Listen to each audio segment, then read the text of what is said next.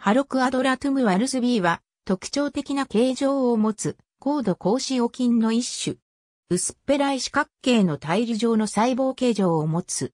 高濃度の NaCl 環境に適応し、世界中の塩湖や塩にまみれた砂に分布する。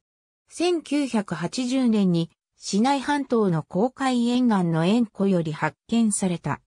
特徴的な形状から顕微鏡下で比較的簡単に見つけられるが、培養は困難を極め、2004年に初めて培養に成功するまで生態は20年以上にわたって不明であった。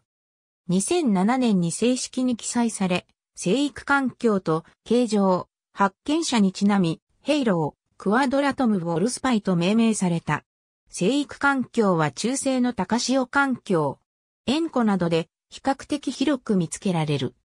加えて、高濃度の塩化マグネシウム環境にも耐性があり、塩田などで海水が濃縮され、完全に無菌になる直前まで繁殖する。形状は郵便切手にも例えられる厚み0.1から0.2マイクロメートル、一辺2から5マイクロメートルの正方形。弁毛があり、運動性を持つ。